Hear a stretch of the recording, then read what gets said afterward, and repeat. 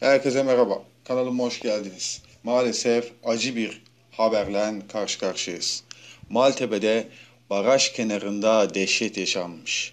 Maltepe'de başı büyük barajının yanındaki yeşillik alanda boğazı kesilmiş bir kadına ait cansız beden bulundu. Cansız bedenin kayıp ilanı verilen 37 yaşındaki Şahigül Buluş'a ait olduğu belirlendi.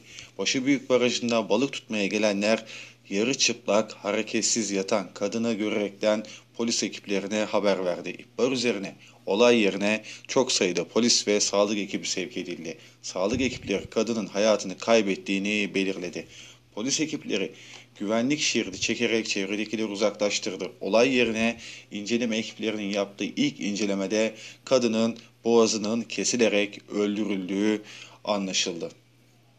Yapılan açıklamalarda polisin olayla ilgili yaptığı soruşturmada cansız bedenin dün kayıp ilanı verilen 37 yaşındaki Şahigül Buluş'a ait olduğu tespit edildi. Polis çevrede geniş çaplı delil çalışması yaptığı dile getirildi. Çevredekiler polisin çalışmalarını film izler gibi izlemiş durumdalar maalesef. Polis ekipleri barajın üst tarafında çalışmaları izleyenleri uzaklaştırmaya çalışırken olay yeri ve savcının çalışmasının ardından ceset Adli Tıp Kurumu'na kaldırıldı. Polisin olayla ilgili geniş kapsamlı soruşturma başlattığı ifade edildi yapılan açıklamalara göre.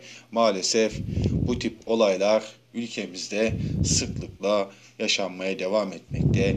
Bir kadın cinayeti daha eklenmiş durumda bu listeye. Hayatını kaybeden Şahigül Buluş'a buradan biz Allah'tan rahmet dileklerimizi sevenlerine ve yakınlarına da başsağlığı dileklerimizi iletiyoruz. Yorumlar sizin. Sonraki videolarda görüşmek dileğiyle şimdilik hoşçakalın.